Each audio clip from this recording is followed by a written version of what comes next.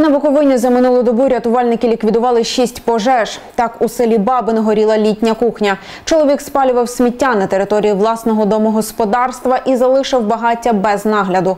Вогонь перекинувся на літню кухню, яка стояла неподалік. Пожежу помітила сусідка та викликала рятувальників. Вогнеборці ліквідували пожежу на площі 80 квадратних метрів. Полум'я знищило літню кухню. Решта пожеж виникли на відкритій території та мали місце у Чернівецькому, Дністровському районах та місті Чернівці. У всіх випадках причинами пожеж стало необережне поводження з вогнем самих людей. Рятувальники Буковини черговий раз звертаються до мешканців області з проханням не чинити злочин та не спалювати суху траву.